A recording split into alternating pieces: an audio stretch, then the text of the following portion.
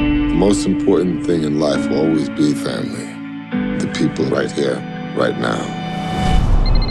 Dominic Toretto, you don't know me. You're about to. Looks like the sins of London have followed us home. Remember Owen Shaw? This is his big bad brother. We're being hunted. I'm going with you.